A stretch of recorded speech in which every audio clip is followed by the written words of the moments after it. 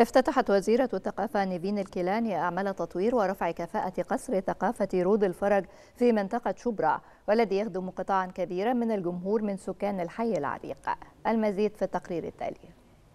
على مساحة عشرة ألاف متر مربع تم افتتاح قصر ثقافة رود الفرج في حي شبرا بالقاهرة بعد أن تم رفع كفاءته والتطوير بأحدث الوسائل والتقنيات. ويتضمن القصر المبنى الإداري وقاعة نادي تكنولوجيا المعلومات ومكتبة للأطفال وحديقة ترفيهية. أتمنى إن كل مدينة وكل قرية يبقى فيها قصر ثقافة حتى لو حاجة صغيرة علشان تبقى منارة للتنوير الثقافي في الدولة كلها. طبعا معمول فيه جهد كبير جدا وأنا بشكر كل الناس اللي شاركوا في التطوير وفي خطة للأنشطة محطوطة.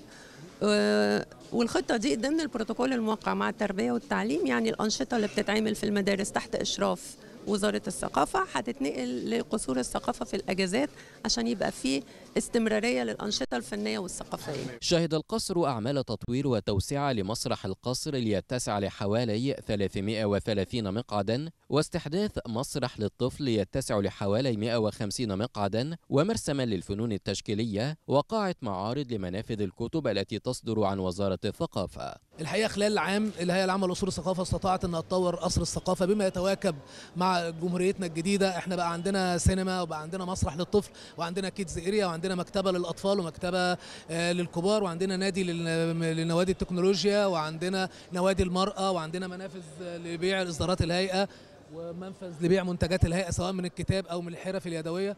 أه الحقيقة الأصل الثقافة اتطور إنه يحوي كافة الأنشطة الثقافية والفنية اللي, اللي تخدم المواطن المصري وخصوصا أهالينا من شبرا ورود الفرج أنا مبسوطة جدا وولادي كمان مبسوطين جدا لأن إحنا ما نعرفش إن بتتم النشاطات دي إلا قريب.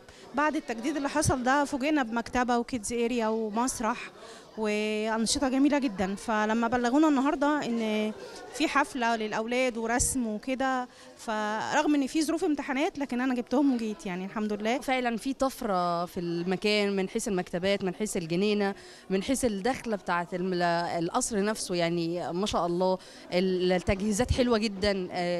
الشكل بقى يعني في تطور في في أمل إن الأطفال تبتدي تستفيد حاجات أكتر يعني في إفادة في كبار ممكن يستمتعوا بالسينما دي فكرة جديدة ما كانتش موجودة أصلا يعني فالموضوع حلو جدا. القصر تم إنشاؤه في سوق رود الفرج السوق الأشهر في السينما المصرية الذي بني على الطراز المملوكي والإنجليزي عام 1974 ليتحول إلى قصر ثقافة يخدم العديد من المواطنين والأهالي في حي شبرا مصر. أحمد الحسيني. التلفزيون المصري.